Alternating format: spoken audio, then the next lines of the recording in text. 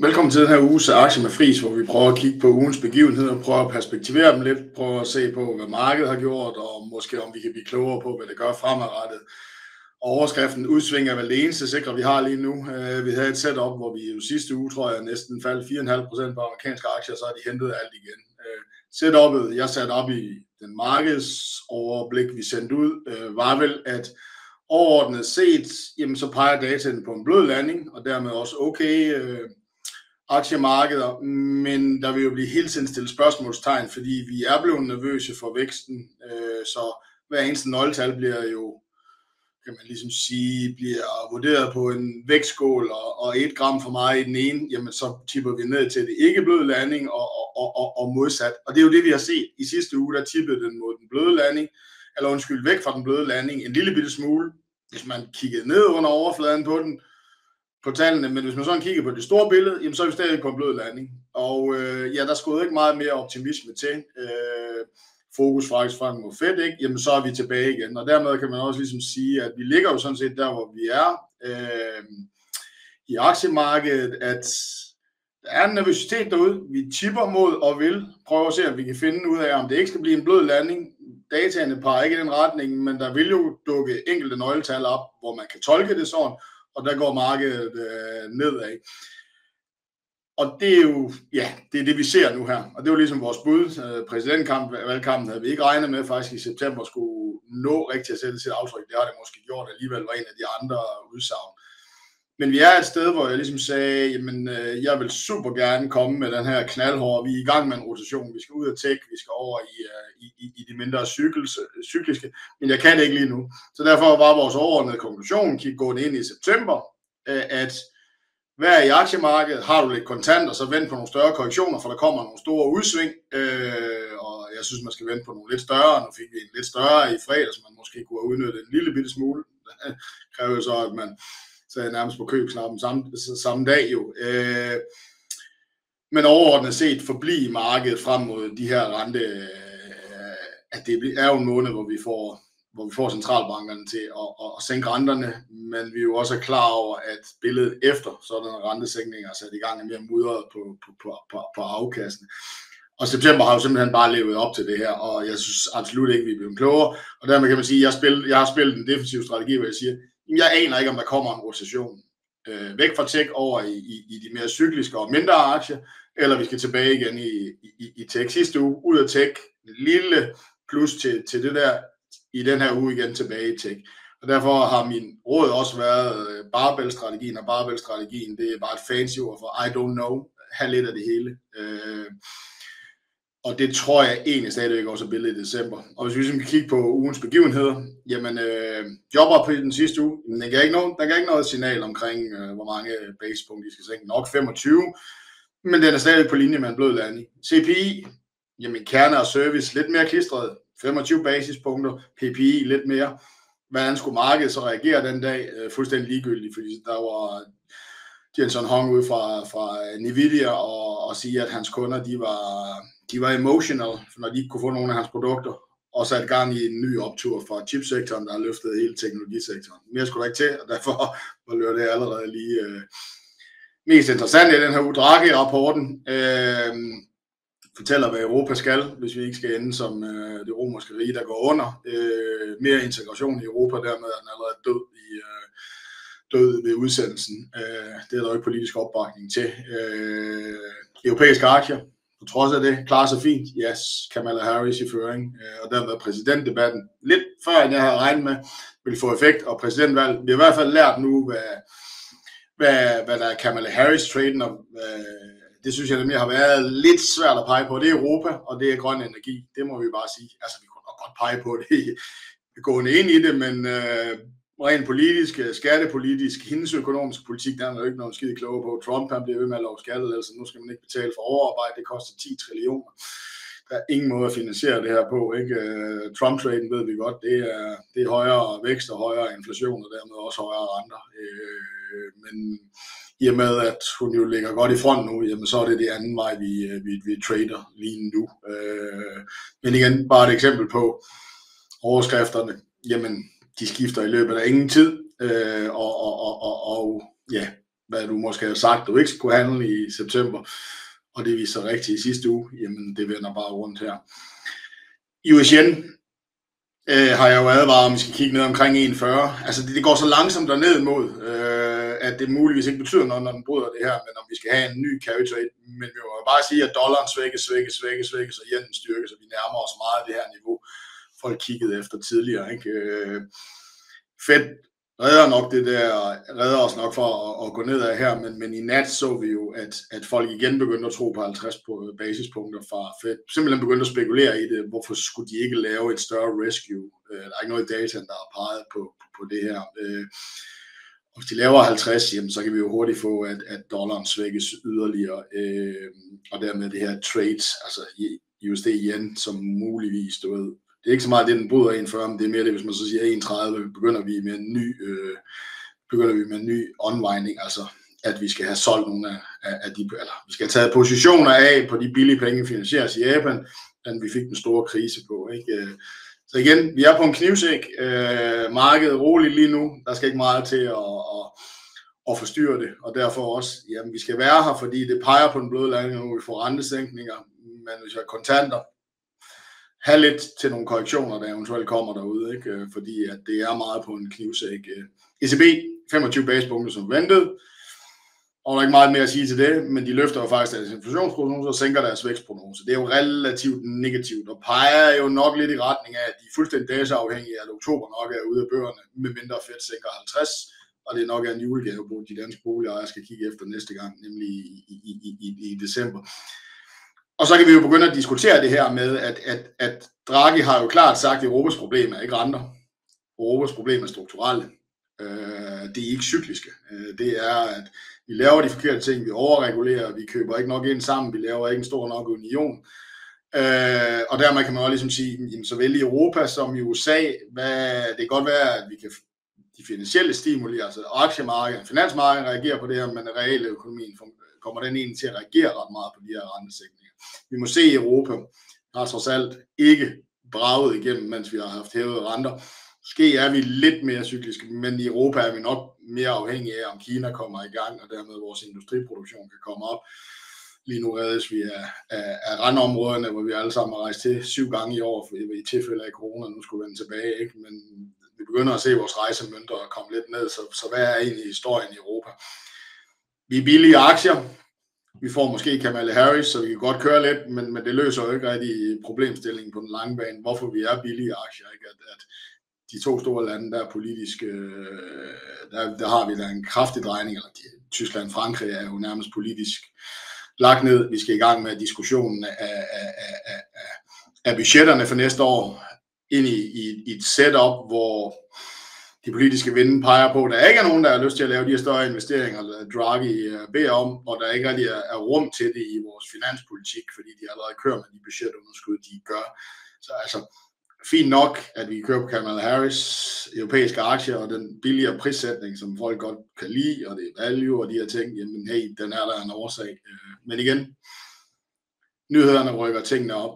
Øh, banker, det var måske et andet stort emne, der ligesom kom op, og, og blev det, en, det blev heldigvis ikke en diskussion omkring økonomien, de her udmeldinger fra JP Morgan og Goldman Sachs, Goldman Sachs var primært på trading, JP Morgan var jo mere på, at, at næste års øh, marginforventninger hos analytikerne var alt for høje, det vil sige, renterne kommer hurtigere ned, uden at de kan sænke omkostningerne, altså forretningsmodellen. Men jeg mener, det er et øh, US issue i teorien, fordi de har haft så meget højere renter, og de skal så meget længere ned på kort tid, næsten 200 basispunkter, hvis du skal tro markedet, og hvor det er mere moderat i, øh, i Europa, og øh, forretningsmodellerne er ikke lige så aggressive i, i, de, i de banker. Lad os snakke lidt om, når vi kommer til spørgsmålet omkring øh, bankerne. Og Kina, jamen altså, øh, skulle der, skulle der nogen redning til for Europa? Ikke rigtig vel. Det var eksporttallene, der ligesom steg. Alle andre kinesiske nøgletal er jo virkelig, virkelig og specielt på, på inflationssiden øh, peger på, at, at, at vi vil levere noget derhen, hvor bazookaen skal hæves frem. Så med kinesiske aktier kan man jo sidde og krydse fingre øh, for, at øh, bazookaen snart bliver hævet frem. For jeg, jeg tror ikke, han kan holde sine 5%, hvis han ikke får den hævet frem, øh, som han har lovet øh, de her. Er man Alibaba-aktionær, så kan man bare glæde sig over, at man ikke er med på den Kina-nedturen, fordi at den er kommet med af Stock Connect, og øh, Dermed er der altså meget potentielt for første gang kan, kan kinesiske mainland investorer direkte købe Alibaba. Det kan man jo ikke, selvom man er noteret i Hongkong, hvis man ikke har en mainland connect, det er måden, man er noteret på. Den 9. september kunne de endelig begynde at købe det her, og folk har selvfølgelig købt op på forventninger om, der kommer det her inflow her. Så, så ja, jeg har heldigvis ikke lidt så meget af Kina, som, som, som andre aktionærer har, men øh, igen, det næste fra ud af Kina må være bazookaen, der skal hives frem, og det bliver jo rigtig spændende at se, om det ikke også kan løfte aktiemarkedet. Så helt overordnet set, september vil være volatil, der kunne komme, der kan sagtens komme større korrektioner, men underliggende blød landing øh, stadigvæk burde være hovedessensen, og vi får de her rentesænkninger. Ikke? Så leg med, men har man kontanter, øh, se om der kommer nogle større korrektioner, fordi sidste uge fortalte os lidt om, hvordan at nøgletallene også kan læse, selvom de peger på en blød landing. Kigger man ned under motorhjelmen og ønsker at gøre det, jamen, så kan man sagtens du ved, fjerne sig fra den her bløde landing, som jo nærmest er priset ind til perfektion i markedet. Og dermed ligger der jo stadigvæk nogle korrektioner eller august derude og, og, og potentielt truer. Øh, det burde ikke være sådan, men, men med, øh, ud fra blød landing og trenden på nøgletallene, men der skal ikke andet en dårlig nøgletal til for at starte det her op. Der skal måske ikke andet end, at dollaren svækkes yderligere, hvilket er godt, bortset fra, at vi har det her i US yen uh, carry trade, uh, som igen kan skabe nogle uh, problemer. Uh, jeg tror, det var sådan overordnet set hovedkonklusionen og overskriften for den her uge. Lad os hoppe til nogle spørgsmål. Uh, kan du give dit syn på NTG uh, øh, Transport Group? Jamen det kan jeg da godt, men uh, i og med at det er en kunde, så vil jeg som altid lige minde om, at, at vi jo, uh, nu skal jeg jo lige hoppe over, at man jo kan gå ud og læse uh, vores, og det er ikke analyse, det er vores one-page investeringsanalyse, så man kan få en idé om omkring uh, prissætning. Jamen altså, øh, midt i alt det her slapperas på DSV, der laver Danmarks historie en anden største opkøb, Novofonden lavede jo det største med Catalant, jamen så er de faktisk i gang med igen at, at, at købe op. Vi ser måske også en lille bitte smule bedringer i markederne, men øh, i, i markedsforholdene inden for, for luftfragt og, og, og søfragt øh, på, på volumensiden, men igen stadigvæk relativt afdæmpet. Øh, så sådan resultatmæssigt, jamen altså, så er det ikke her, vi skal se tingene slå. Det er det heller ikke hos, hos DSV. Øh, prissætningsmæssigt er den dog noget billigere end dens øh, store konkurrenter, og det er jo dens fordel, man kan sige. Marginerne er selvfølgelig også lidt til den lavere side, kan forklare noget af den her prissætning. Så altså, overordnet set, speditør, den her øh, høje røg, øh, god indtjening, stærk cashflow, øh, køber så større og dermed skaber volumen, jamen det er jo, det er jo, det er jo mini DSV'en, og det bryder de sig sikkert om, jeg kalder den, men, men, men I har jo set forretningsmodellen. Men ofte, som, når, når folk stiller spørgsmål, så spørger de jo også, hvad skal der ske i morgen? I don't have an idea. Øh, og det, jeg forstår udmærket, at, du ved, at svaret helst skal være fra i morgen og så frem efter, øh, at øh, om man er positiv på den. Du ved, de økonomiske konditioner derude er jo ikke sindssygt befordrende. Øh, de er ikke, de er ikke slemme, øh, men det er ikke sådan, at, at, at resultaterne bare brager afsted og kan overraske. Men man er, øh, man er sådan set begyndt at eksekvere på de her ting, og man har en billigere prissætning end, end, end, end resten af markedet. Og det er sådan overordnet set øh, det, jeg har lyst til at sige om den. Øh, men hvis man vil læse mere om, se på prissætning og så videre, så kan man på nds.dk jo ud og, og, og downloade vores øh, one-pager på den. Øh, det kommer jeg til at gentage mange gange, det her, så hvad nu bare for... Kan du inddrage dit syn på Mærsk og eventuelt DS Norden? Øh, skal vi starte med DS Norden, der gentager her, her det samme. Gå ud og læs relativt billig prissætning. Øh, NAV, der ligger langt, relativt 25% under værdierne. Øh, billig prissætning i forhold til, til nogle af peers. Øh, leverer egentlig rimelig godt på deres altså light-model igen. Og det, vi kan nævne det samme omkring tank, som Norden jo har en lille bitte smule del af, øh, og som jeg sidder her hver gang og siger, at det er det bedste marked osv., de er rigtig begyndt at falde raterne på den her olieefterspørgsel. Nu så vi det endelig øh, knække ind. Øh, det er det normalt i september, fordi de store raffinaderier, de øh, laver, laver, laver maintenance, vedligeholdelse og dermed er der ikke ret meget, der skal sejles. Det er sådan generelt ind i efteråret. Og jeg mener stadigvæk, de strukturelle Men sagt på en anden måde, altså du ved, radar begynder at falde, de her meget, meget høje resultater, der giver meget, meget høje dividender, øh, jamen de er lige nu under pres. Øh, strukturelt er man jo så super billig, øh, og er altid priset til det her, men lige nu er resultaterne i shipping sandsynligvis de forventninger, man har liggende med, og den guidance, man har til markedet, de er en lille smule under pres, både lidt i tørlast og delvis lidt i tank. Øh, så det kommer an på, om du spørger mig på tre måneders sigt, eller om du spørger mig, kan jeg købe den her og ligge med den her. Det er hvilket er usædvanligt i shipping, og foretrækker, at det skal være i tank, hvis man, hvor jeg mener, der er den her strukturelle historie, som nok skal udspille sig over på fem års sigt. Men lige nu er Arnerne altså begyndt at sætte sig øh, i, i, i tank blandt andet. Delvis også lidt i, øh, i tørlast, står ikke så meget. Øh, jeg tror, at lige nu er raterne i, i tank, altså clean tank, Øh, de cirka halvdelen af, hvad, hvad, hvad, hvad vi indtil nu videre har set eksekveret i år. Og det er ikke unormalt i september, hvor der er de her raffinaderier, så du ved, det, vi skal ikke tro, at det bliver gennemsnittet for resten af året. Men det er mere under pres, så hvis du spørger mig, om jeg skal købe den i dag for at sælge den og købe nogle julegaver, I don't know. Øh, du har en relativt billig prissætning i forhold til NAV, som jo er indre værdien af skibene. Du, de, de har en rigtig god asset light model, hvor, hvor en del af deres forretning er, er jo er jo, hvor de booker skibe. Øh, så set ud af de betragtninger og en høj udløjningsprocent, gode resultater lige nu, øh, og som jeg egentlig tror bliver mere fastholdt strukturelt, mere i tanken end andre steder.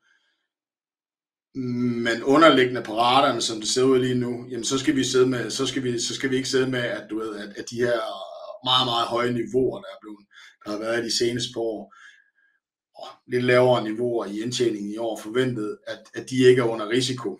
Øh, fordi det, det kan vi se derude øh, på, på, på, på, på, på, på raderne. Øh, læs den her analyse, og jeg ved godt, at, at, at når, I, når I ser her, at jeg har en analyse her, så ved jeg også godt, at jeg kan ikke give jer meget ansvar end det, der ligger i vores analyse. Øh, du skal gerne have en holdning, øh, så, så det er lidt sværere for mig, når det er når det er kunder, i og med, at, at dem har vi ikke anbefalinger på. Øh, så øh, kortsigtet, tag med, at, at, at retterne er mere under pres, tror jeg, end, no, end vi havde ventet for, for en måneds tid siden. Øh, noget af det er sæsonbetonet, øh, især i tank, øh, men der er mere pres på de kortsigtede resultater, og vi må jo bare erkende, at at får, får man ikke overbevist verden om, man er en strukturel historie, øh, så, øh, så handler man jo på det.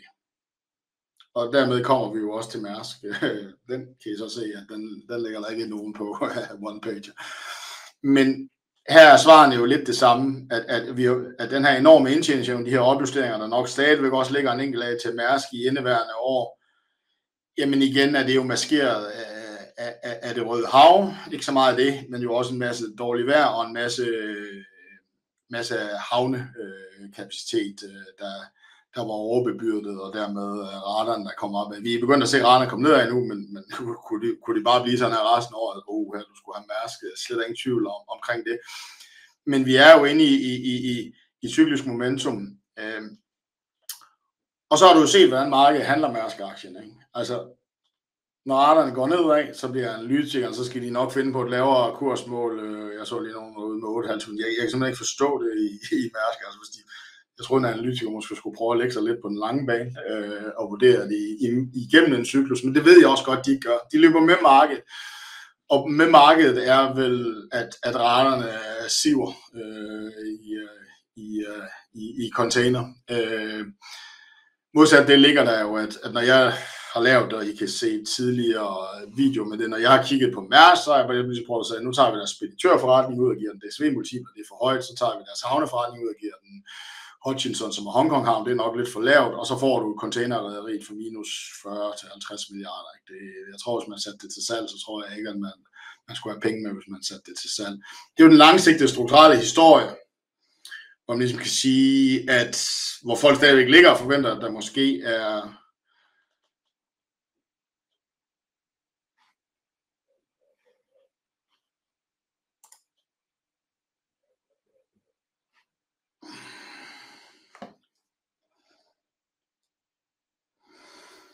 Vi prøver lige at køre videre med kamera. Jeg har en lidt dårlig forbindelse.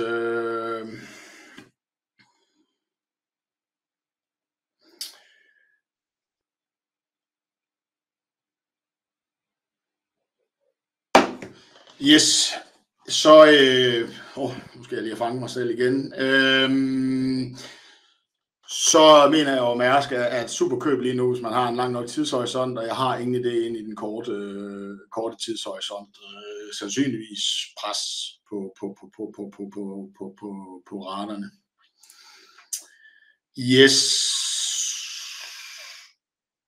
Hvordan ser jeg på udsigten på Danske Bank ultimo 2024 og 2025? Jeg ser et pænt uddeling til aktionærerne ultimo 2024. Jamen altså, jeg, jeg, jeg, sådan overordnet set, øh, Danske Bank kan man også gå ind og finde en, en, en one-pager på. Nu har jeg lige fået den med i mine øh, præsentationsslides. Men jamen, jeg er egentlig relativt positiv på, på, på især skandinaviske banker, og måske især danske banker. Ikke? Altså ja, vi kommer til at få et pres nedad på, på, på nettorentebærende indtægter, altså på, via renten. Jeg tror, noget af det her det kan delvis kompenseres for igennem et øh, omkostningsfokus, to øh, forøget aktivitet andre steder, så som, som konvertering, og det kigger ind i 2025. Og derfor sidder jeg faktisk lidt og siger, at, at, at jeg tror, at, at vi har været for vant til, at banker er en forretningsmodel, når vi handler alt for meget over en i indre værdi, så, så, så skal vi til at passe på. Jeg tror egentlig godt, de kan tikke lidt, lidt længere op af, og det, sådan en som Danske Bank handler jo, jeg kan ikke huske det, men, men, men, men er det 0,90, 0,95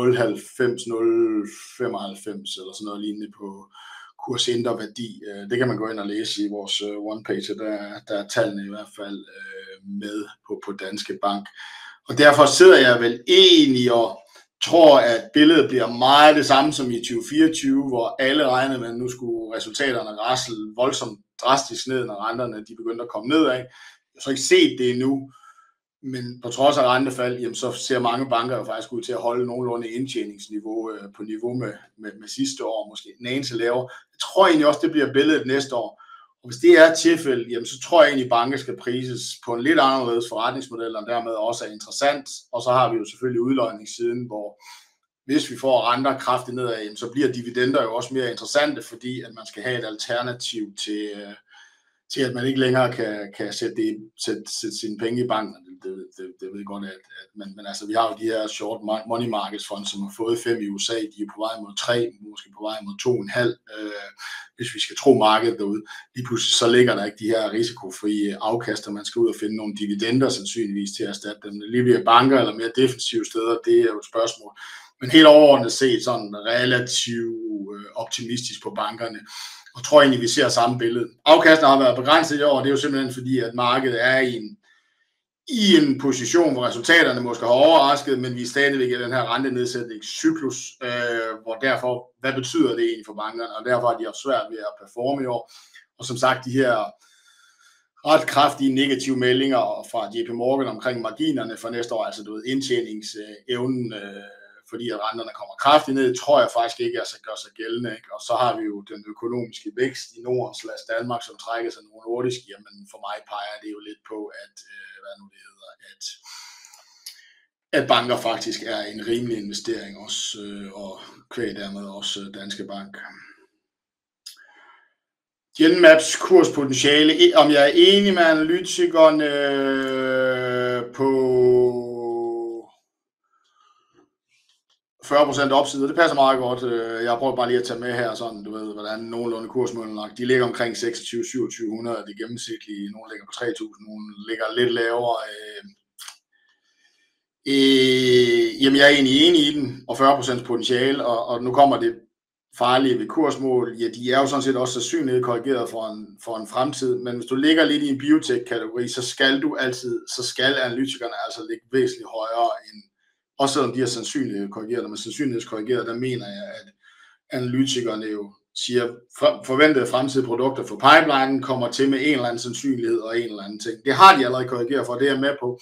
Men selv der, der skal, der skal man som regel, når man går lidt mere i en biotech-kategori, have, have også et, et, et, et, en rabat til det. Så jeg synes egentlig ikke, det er forkert der, hvor den handler. Og, og, og jeg vil også bare minde om, at der er en aktie i Vælden, I kan finde på en Berries. I kan også finde den på YouTube, hvor jeg er sammen med, med Claus, som er vel Danmarks mest vidende på, øh, på Pharma generelt, øh, gennemgår casen. Og det er jo det her med, at for Genmap, der er det helt afgørende, om de får en, øh, hvad, hvad forløbet bliver ind i næste generation. Altså deres nyeste generationsprodukt, erstatning til, til Darzalex Det ved vi ved årets udgang. Så det er vel rigtig nok, og, og svaret på, jamen det er udfaldet der, og hvis man hører ham i nogle af mine programmer, når jeg har haft med ham, så siger han også bare, I, I må gerne som investorer sidde og prøve at gætte, hvad sådan et udfald bliver, og hvilken rabat jeg skal have osv. Men hvis man skal være pharma-investor, så handler man på de data, der er kommet, og om der er en forskel. Og det, jeg kan egentlig godt lide det her udsagn. Og dermed også sagt, nej, jeg, jeg synes, markedet har talt sit tydelige sprog her.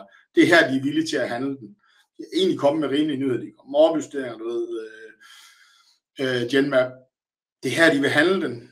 Det er her, alle analytikerne, de, for, de fortæller, at det skal være meget højere på baggrund af sådan en sandsynlighedskorrigeret øh, øh, stor Excel-model i, i deres analyser, og der er mange, der mener det samme og analytikerne gør det heller ikke. Og, og, og, og på en eller anden måde, så er det egentlig markedet, der har fortalt mig, at, at, at vi kan sagtens prøve at kloge os, hvad Genmap skal, og, og have en mening om det, eller investere ind i det. Og den risiko må man gerne påtage sig. Øh, hvis man er rigtig pharma-investor, så venter man måske at se om dataen, og så kan der være en stiger 30% det kan godt være, at den skulle være 60% og der så kan man begynde at købe ind i det. Så det er lidt efter, hvilken risikoprofil man har. Men sådan hvis du spørger mig helt overordnet set, er jeg uenig, er, synes jeg, det er voldsomt forkert, det analytikeren ligger ind? Nej, ikke hvad det jeg ser i de, der, de ting, de modellerer.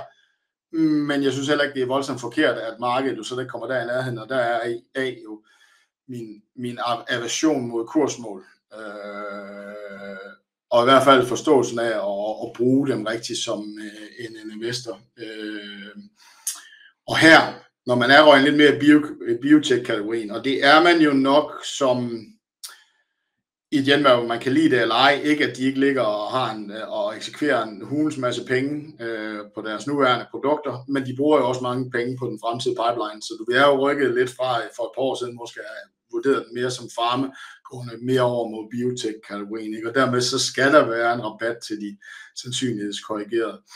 Så kan der opstå en optimisme omkring deres pipeline, som, som, som rykker markedet tættere på de her, og det har jeg ingen idé om, det sker. Jeg må bare sige, at markedet måde at handle den på de sidste halvanden år, altså sidste års tid, peger ikke på, at, at, at de vil meget, før vi får det her data, der kan pege i retning af, om de har en, øh, en, en potentiel afløser, og så er det jo en helt ny sag, en helt anden case, vi skal, vi skal til at snakke om, men meget bliver jo afgjort ved årets udgang. Og det er noget det, vi blandt andet snakker om i den video, hvis man vil prøve at gøre sig lidt klogere øh, aktier i Genmap. Øh, I kan finde på YouTube og på vores Endeavors hjemmeside. Mm. Oh oh oh, oh, oh, oh, yes. Holdning til Pharma Equity Group. Jamen, nu vil I nok se, at så hopper vi lige hen til, at der er en one-page her på det. Jamen altså, øh, spørgeren her nævner, øh, eller skriver selv nogle af, af de spændende ting, der er ved den her.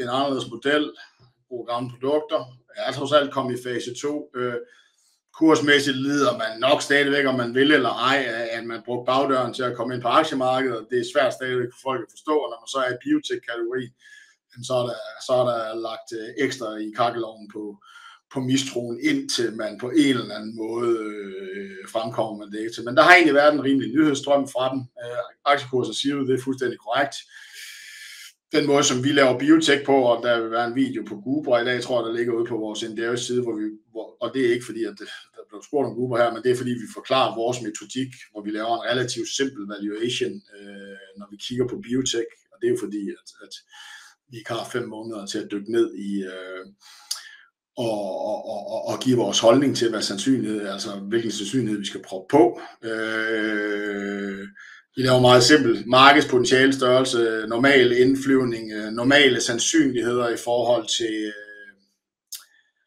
i forhold til, hvad når man er i fase 1, fase 2, og der skal man jo ned og kigge på produktet, er større eller mindre sandsynlighed. Der bruger vi bare normale sandsynligheder, som, som der ligger i forhold til databaserne, der fortæller os, hvad de her ting er.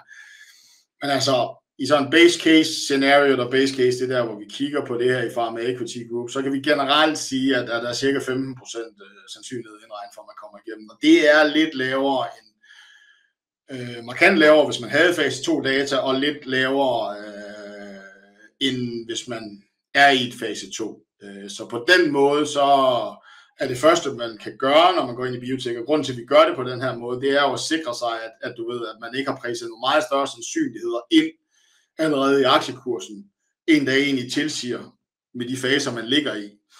og det, det, er jo, det, er jo, det er jo grund, altså vi, vi ser jo gang på gang, at, at, at, at selv de bedste analytikere, de sidder og har en vurdering af sandsynligheden, om den er større eller lavere for, at noget går igennem, og de har rigtig svært ved det. Her bruger vi jo bare branchestatistikker. Så på den måde, det væsentligste er her, at, at, at kan man ligesom sige, at det vi kan konkludere, den måde vi gør det på, er, at, at sandsynlighederne, der er priset ind i den her aktie, er lavere, end de burde være øh, generelt set for der, hvor de er i deres fase. Øh, dermed ikke nogen købsanbefalinger eller noget som helst, men det er ligesom det, vi kan konkludere øh, ud fra, øh, fra den metodik, vi sidder, når vi sidder og kigger på Pharma Equity Group. Jeg kan egentlig godt lide deres tilgang øh, til, til, til, til det her. Øh, er, jeg, er, jeg, er jeg nervøs for, at det var en bagdørs øh, børsnotering? Nej, det er nogle af de, de lidt nemmere måder at gøre det på, men det, jeg er klar over, at det selvfølgelig har skabt en masse støj, fordi vi ikke er, er, er, er, er vant til det. Øh, så igen, Måske har man læst den, måske ikke, men jeg prøver at gå ind og gøre sig en lille bit smule klogere via vores one-pager inde på Inderis.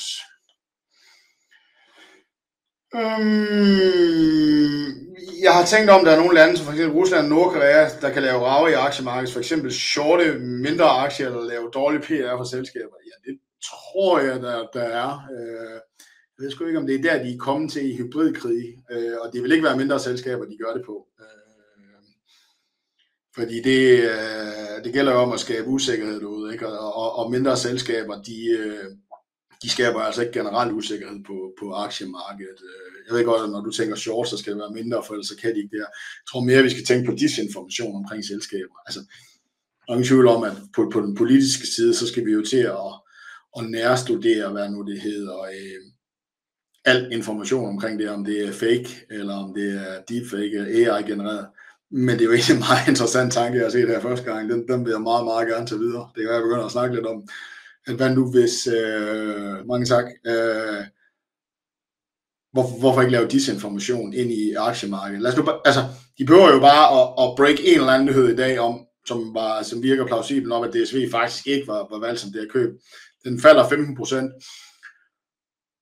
Og så er den tilbage igen ved dagens udgang, fordi det finder vi selvfølgelig relativt hurtigt ud af. Men hvor mange penge, der på vej ned er blevet tabt, og hvis de så gør det, gør det på en anden aktie i, øh, i, øh, i markedet, ikke, ikke nødvendigvis shorter den, øh, men jo bare kører disinformation, så begynder du at tabe alt tiltro til nyheder, du får ud af markedet, og dermed smadrer du jo de finansielle markeder, og dermed smadrer du jo også en af cornerstonesene i, øh, i vores, øh, i vores vestlige demokratiske landes øh, økonomier, nemlig aktiemarkedet og det feedback, vi får ind fra det. Altså, du ved, selv i USA, der er det jo, forbrugernes tillid hænger jo op på aktiemarkedet, hvis du lige pludselig ikke har tillid det. Så det er faktisk et rigtig interessant spørgsmål. Hvad fanden gør vi egentlig? Øh, hvordan fanden sikrer vi os egentlig, at, at, at de ikke bliver dygtige nok til at lave disinformation på, på selskaber? Og ikke fordi, at det betyder noget andet end lige på dagen, men, men, men alt den handel der, og hvis der kommer flere af dem, øh, ja, jeg bliver da svar skyldig. Det skulle godt være, at der er nogen, der skal til at se på det. Øh, fordi at det er jo en af, en af hybridmåderne, ikke en af kernerne i det her. Jeg, jeg kan ikke rigtig svare mere andet, at det var faktisk et rigtig interessant spørgsmål, øh, og jeg kan faktisk godt se det, men ikke nødvendigvis med shortning, og ikke i små aktier, men disinformation, der får markederne til at reagere, og, og måske trigger et eller andet. Øh, øh, altså, vi har jo, vi har jo en, der, der gik ned i 7-Eleven og sendte en fax, ikke? Det fik vel, jeg kan ikke huske, hvad det var for en aktie, men det var en af de egentlig større aktier, 10% øh, op, ikke? Øh, så svært er det jo heller ikke, bortset fra, at man bliver opdaget. Øh, men det er de jo ret ligeglade med. Øh, der skal jo ikke meget af det her til for at skabe mistillid til et aktiemarked, og det vil være rigtig, rigtig skidt. Øh, points for at have raised den, den har jeg faktisk aldrig tænkt over. Yes, jamen øh, det var øh, den her uges svar på spørgsmål, øh, udsyn på aktiemarkedet, hvad vi har lært, og måske et kig sådan lidt øh, frem i tiden, og, og, og jeg synes egentlig, det er, det, er, det, er, det er blandet. Jeg er ikke sikker. Jeg øh, har ikke noget mod aktiemarkedet, men øh, men øh, jeg, skal ikke, jeg har svært ved at udpege, om det er rotation, tech, der, der er vinderne her. Jeg tror egentlig også, at vi kommer til at opleve mange skift imellem det her stadigvæk i, i, i, i september. Og have en god weekend.